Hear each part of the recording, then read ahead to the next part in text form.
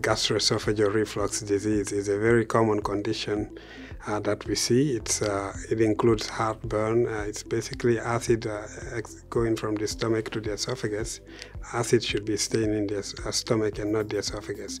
So that causes a range of symptoms, including heartburn. Some patients even complain of chest pain.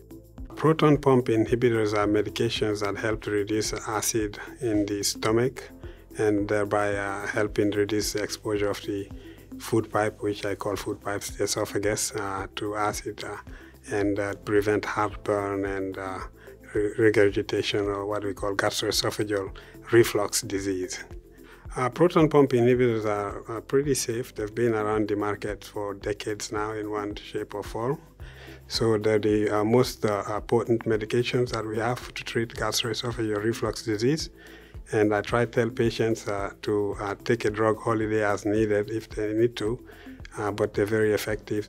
So uh, the American Cancer Society came up with the recommendation that everybody should get screened for colon cancer starting at age 45, and that's been supported by many other major societies, including our gastroenterology societies. So 45 is the new age uh, to screen across the board, uh, except for those patients that have increased risk, risk uh, for colon cancer, and that includes uh, patients with family members and uh, or patients that have familial history of colon cancer syndromes. Uh, in that case, that's uh, discussed on a case-by-case basis. Patients, we do recommend that they follow um, a certain dietary plan for their IBS symptoms. And one of the most uh, common dietary plan that we do recommend is called the low FODMAP diet.